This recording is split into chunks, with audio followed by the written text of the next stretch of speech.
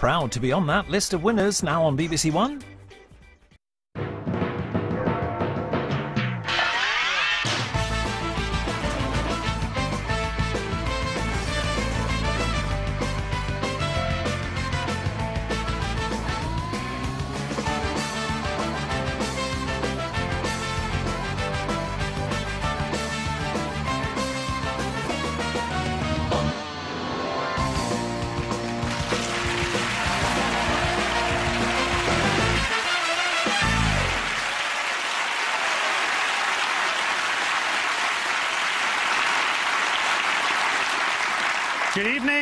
Welcome to Have I Got News for You? I'm Frankie Boyle.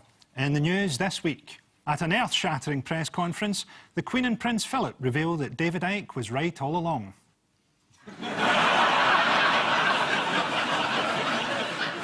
After Beyonce gets a flat tyre, the bloke at the garage tries a little too hard to impress her.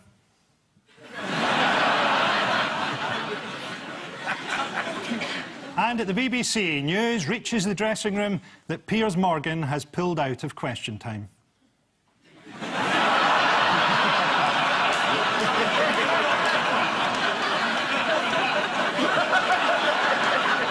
On Ian's team tonight is a trenchant journalist and author who's been compared to Katie Hopkins. Although, unlike Katie Hopkins, she still has a reflection. Please welcome Talk Radio's Julia Hartley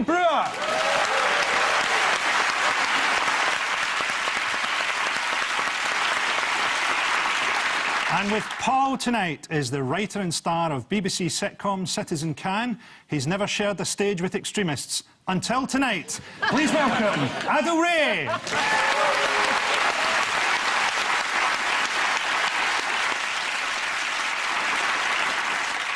And we start with the bigger stories of the week. Paul and Adil, hmm. take a look at this.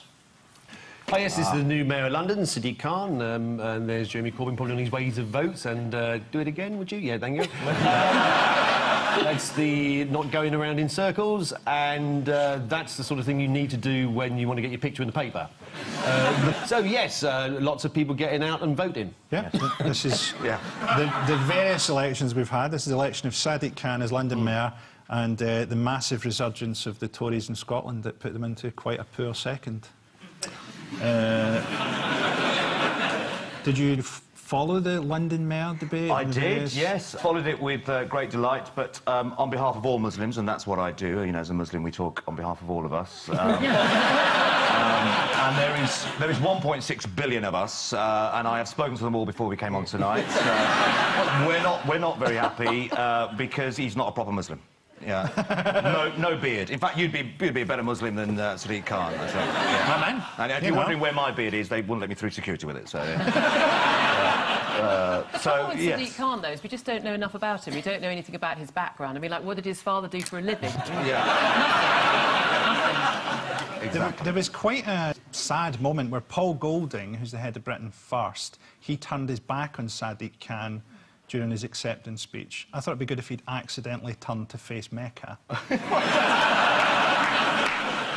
Quite possibly what was happening, yeah. He went on the first day straight to a Holocaust memorial service, didn't he? Yes, that was, uh, that was uh, convenient, wasn't it? Yeah, and, and good. Yeah.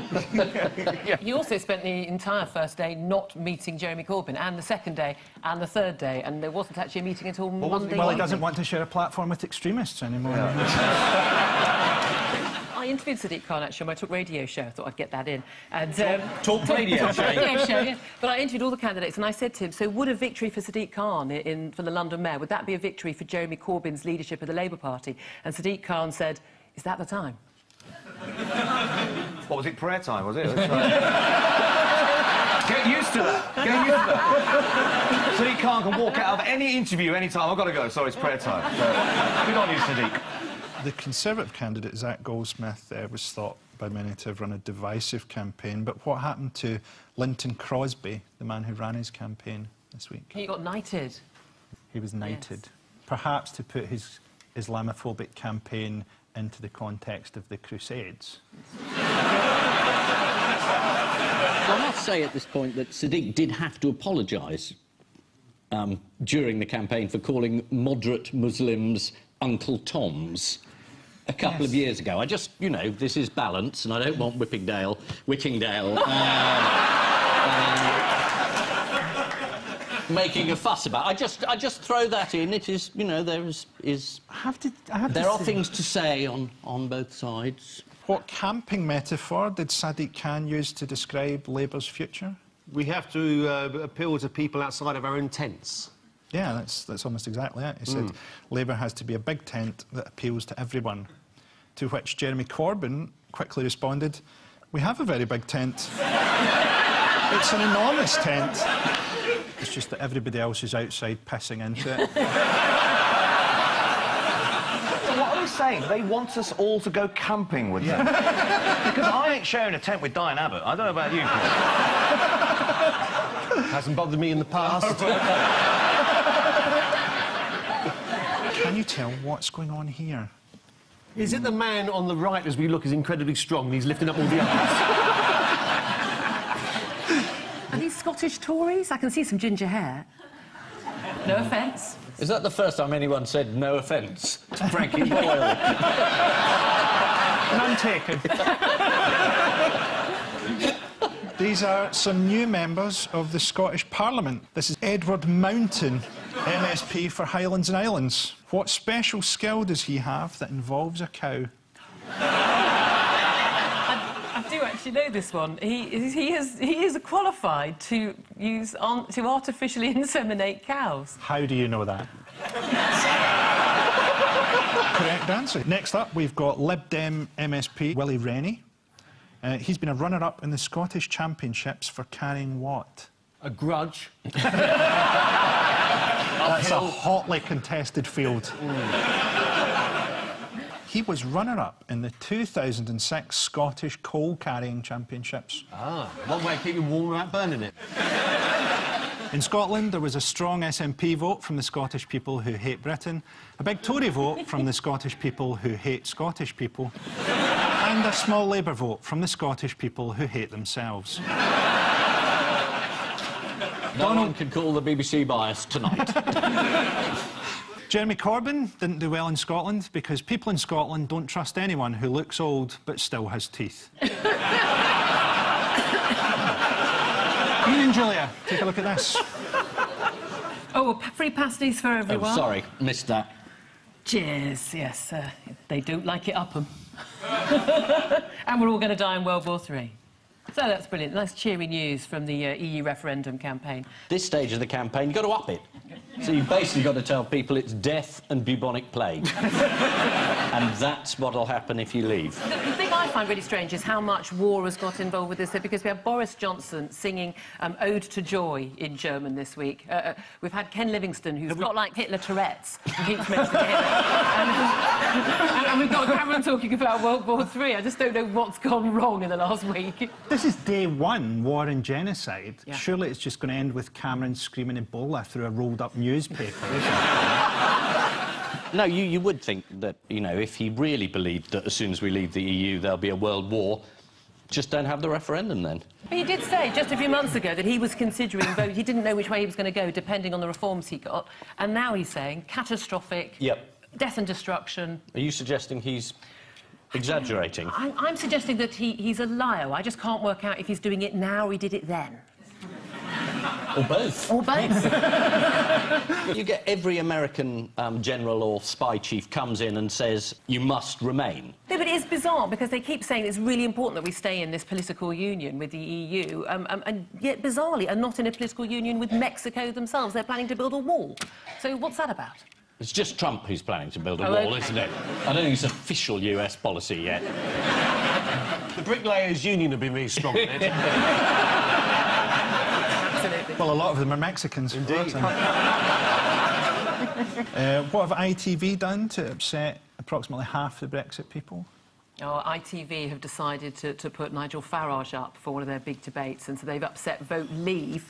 And Vote Leave is now threatening to sue because they said they're the official campaign, and therefore it should be them and not Nigel Farage who gets to choose who goes up. And Vote Leave would rather have Boris. Anyone, literally anyone. Ken Livingstone shouting Hitler every three minutes. They would prefer. And when we've uh, veered off into the world of uh, TV, what has John Whittingdale hit us up with this week? Damn good thrashing. He's come up with a white paper um, on broadcasting, which is not as extreme as, as was trailed. As so often with the government, they've said they're going to do one thing, and then people have said that's a terrible idea, and they've said, oh, really? Oh, all right, we won't do it. Um, which is very good news. But isn't there something quite strange in a government that isn't talking to junior doctors, getting wound up about what time Strictly comes on? Well, could- Whittingdale and Strictly are two words you should... Oh, I did notice it. There was something about. Uh, it did say we don't mind strictly, but perhaps perhaps not bargain hunt. I think that was actually mentioned in the white paper. This is just some old blokes just choosing what they like, isn't it? You know? What about if the BBC's popular programmes had a kind of handicap system, so they could make a property programme, but it had to be set in the Gaza Strip? Homes under the Hamas.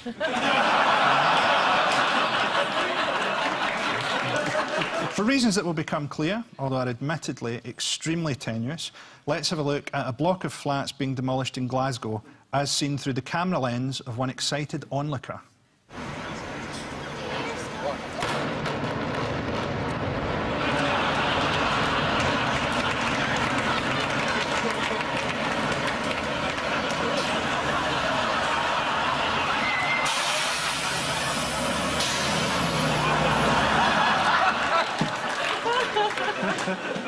Week saw the official launch of the EU referendum campaigns. David Cameron has implied that leaving the EU could lead to World War III, whereas Nigel Farage is hoping for a rerun of World War II. this week we saw the one sure sign a referendum is on its way, as Gordon Brown was brought out of retirement to dance on a ball like an old abused circus bear.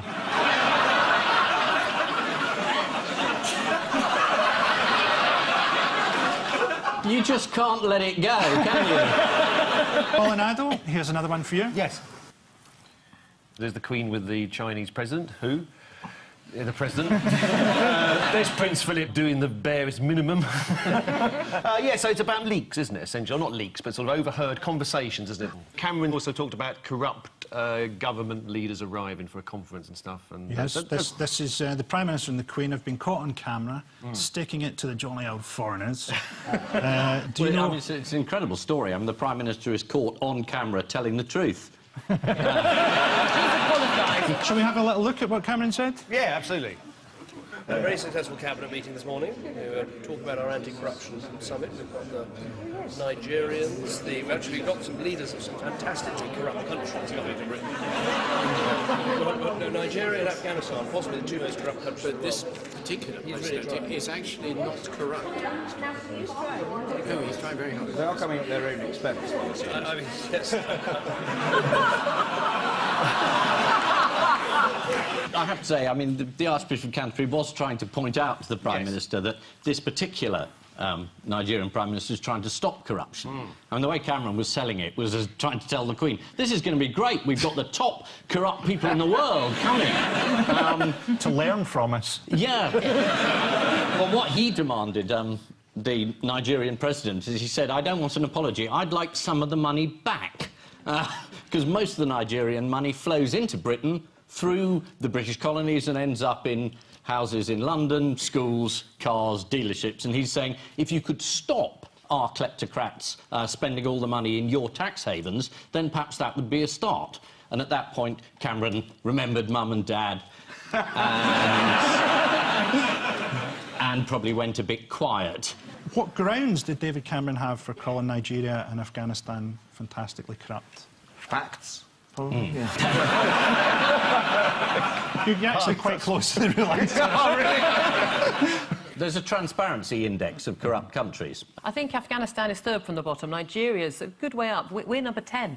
Very proud. So is that the 10 most corrupt or the 10? what, what- what top 10 are we in? You move up the league like Leicester and just suddenly come and th- surprise th- th- everyone. There's, there's a great story where apparently the Pakistani delegation went to the, the anti-corruption conference at the time, and, and back then, at the end of the conference, they would announce who are the most ranked anti-corrupt countries in the world. And they came to the announcement, and the announcer goes, well, Pakistan started the conference at number seven, but having tried to bribe the anti-corruption committee, they find themselves now at number two. Is, there's a theory, isn't there, that they maybe did it deliberately to create a big stink around the Euro referendum. I sort of think possibly Cameron is saving the Queen's death for when he needs a really big news story. I think he'll go for his he'll go for his weekly meeting one week. He'll take a pillow out of his briefcase and say, "I'm sorry, ma'am. ISIS have landed in Cornwall." How did uh, how did the Queen add to things? The Queen was overheard saying the Chinese were a bit uh, uh, tricky, rude. Was that rude? what she said? Yes, rude. The royal family have got form when it comes to upsetting the Chinese. Surprisingly, it's not Prince Philip. Can you remember who it was? Uh, Prince Charles described the Chinese communist leadership as a bunch of ghastly old waxworks. Was this just before the ambassador then left? Just before he complimented him on his, on his chocolates. We uh, have a picture of Prince Charles Yes. making that remark. this is the news that David Cameron and the Queen have been filmed making indiscreet comments about foreigners. This all came despite the fact that we're always told the royal family are great for tourism and business. Perhaps if we had a country worth visiting, we wouldn't have to parade the products of centuries of incest around to try to sell fridge magnets. Has, has this turned into a party political?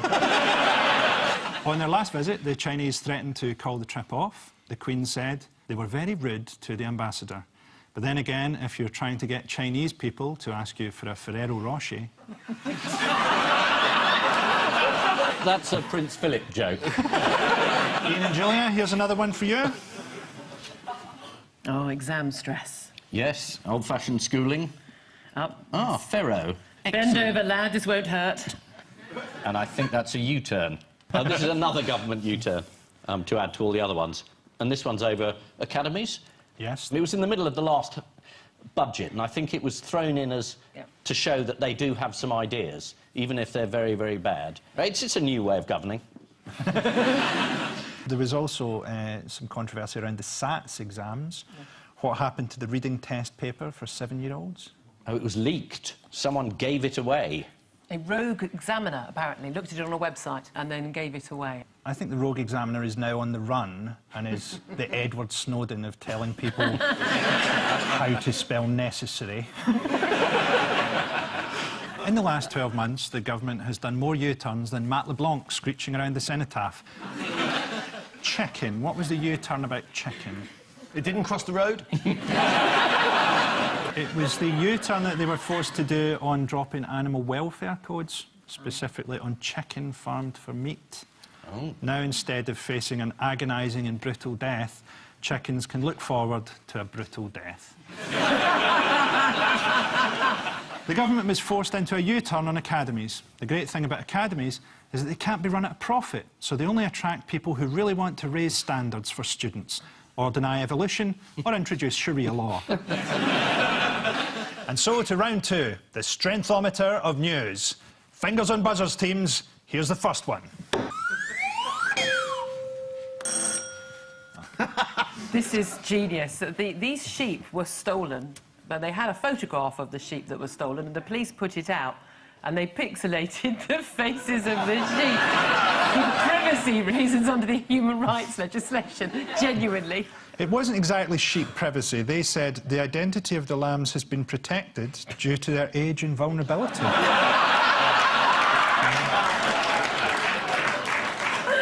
and deliciousness. The police later revealed that it was a joke. Meanwhile, what has the Greater Manchester Police been planning for? Is this the possible terror attack in a shopping centre?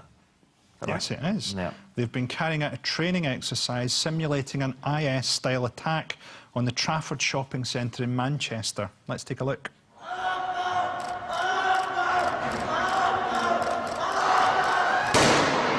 It's all just staged. They're all just actors, obviously, but it was horrifyingly realistic. And some people got very annoyed. Do you think it was a bad idea? Uh, well, I, I spoke to all the Muslims before we came on tonight. 50-50. 50-50 split. Yeah. Um, Uh, a lot of people, a lot of Muslims are annoyed that they used Allahu Akbar, which I'm quite surprised by, because if you are doing a training exercise about possible people from ISIS, it's quite likely that they might be shouting Allahu Akbar, so fair enough to the police, I think. But I think a lot of Muslims are sort of saying, well, look, Allahu Akbar is used for different things, and, you know, if you are in a shopping centre and you hear somebody shout out Allahu Akbar, it could be that they could be about to bomb you, or it could be that uh, they're about to pray, or there's a sale on it next. Mm. So, um, so, you know, I don't think that's only fair. They just want to make sure there's a distinction. One person tweeted, maybe in future training, the suicide bomber could shout, I'm blowing myself up for a generic terrorist cause.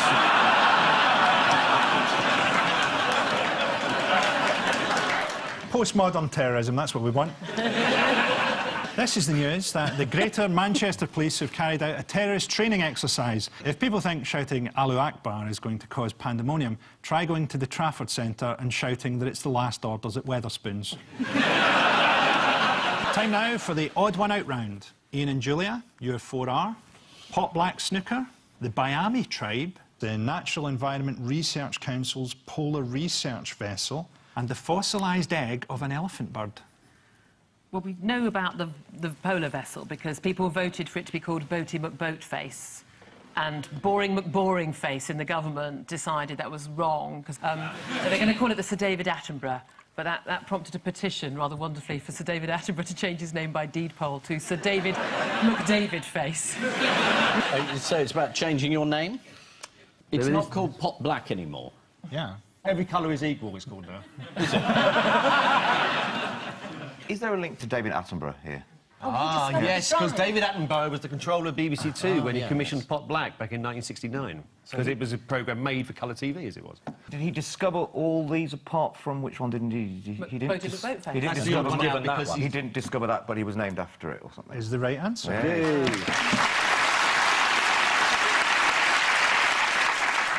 They're all known thanks to the work of Sir David Attenborough, apart from the UK's new polar research vessel, which is going to be named after him. I don't know if you followed the whole Boaty McBoatface thing. I thought it could have gone a lot worse if you were asking the British public to decide on something. They're lucky it wasn't called Harold Shipman. The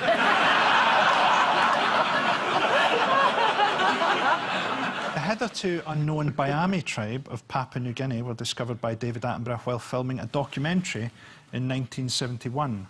What did David Attenborough do with the egg from the gigantic but extinct elephant bird? He had to put it together because yes, yeah, put it all back together. Uh, he reconstructed it from over 1,000 pieces. Here's what he started out with. And here's his first attempt. and then he made this. What could be a more appropriate 90th birthday gift for David Attenborough than to give his name to a polar research vessel as they both begin a long, cold journey to a place of endless night?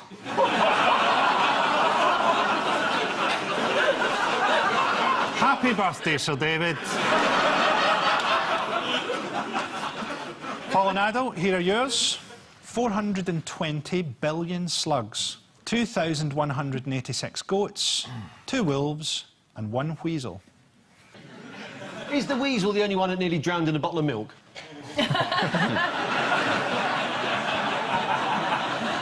Is the weasel the one that was in the Hadron Collider? It is. Ah, yes, yes. He ate through a cable and it stopped working. So these other things did something. that stopped something working. I can play this game. I can do that. And that's an exclusive. They've all inconvenienced people except Ah, yes. one. Apart from the goats. It's actually the wolves. Oh, yes.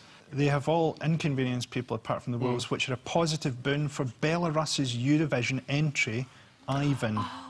Uh, Ivan is going to perform, I think, tonight, naked with two presumably quite baffled wolves. Hopefully well-fed wolves at this point. in uh... Hopefully well drugged wolves. Yeah. What does Ivan say is key to performing naked with wolves? Is a show called Dangling with Wolves? Is the wolf wearing something in the sort of nether regions? There seems to be Yeah. something. What is like a thong? Or... He's wearing these other bloke's underpants. He's naked and the wolf's wearing a thong. Yeah, that's what's going on there. The Eurovision knows its audience. And that's a blue screen, so God knows what the image will be like on the night. What he said to the Mail Online was the most important thing is to remember to feed them sausages on time. Oh, A new super breed of sex mad, sleepless slugs has arrived from Spain. Oh, uh, an alliterative threat. Do you know how they got over here? Really slowly. Just been tossed from garden to garden. For some people, it's a summer holiday. According to the Daily Mail, it was in some salad. You know? Uh, and why might these slugs be dangerous to road users? Um, they, the, the car crushes the slug, the slug gets caught up in the rubber, the rubber and the slug interact together in the way that only synthetic material and a live animal can, and um, it all goes wrong. Well, I'm going to give you a point for that because actually they get run over in the road. Yes. Other slugs come out to eat them, and it creates a slug slick. Looking forward to that. Weasel disrupted the Large Hadron Collider last week. The Large Hadron Collider has revealed a lot of previously unknown information to scientists. For example, we now know how to cook a weasel to perfection. Belarus's Eurovision entry, Ivan, will perform with wolves. The tragedy is, he's said to his friends so often in the past that he's going to be performing with wolves at Eurovision that nobody believes him anymore. Time now for the Missing Words Round, which this week features as its guest publication, Parking Today. if, like me, you're a massive fan of parking conventions, there's a brilliant one every day on the M25. and we start with designer chickens what? Are made before designer eggs. That's the old debate. Yeah, sorted that one out. Designer chickens at risk from thieves. Thieves are targeting middle class homes and stealing rare chickens. Good.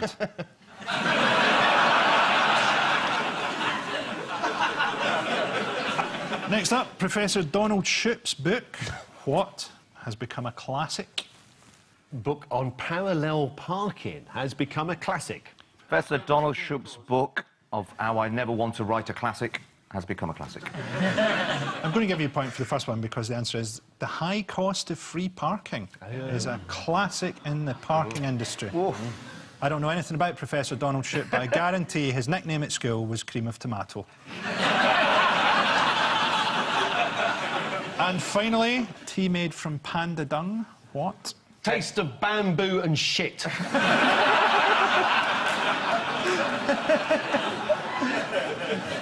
It's tea made from panda dung among world's weirdest drinks. Oh. This is the news that you can now get panda tea made from poo. Poo tea is the name of the panda. so, the final scores are Paul and Adil have eight points, and Ian and Julia have six points.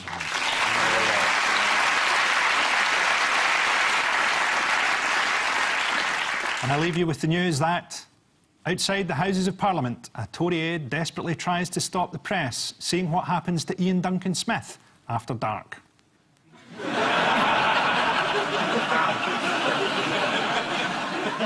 At a Buckingham Palace tea party, there's relief that the cameraman who captured the Queen's undiplomatic remarks about the Chinese didn't look behind him.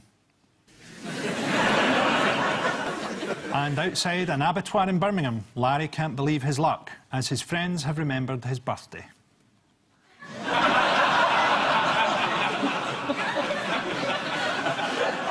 Good night.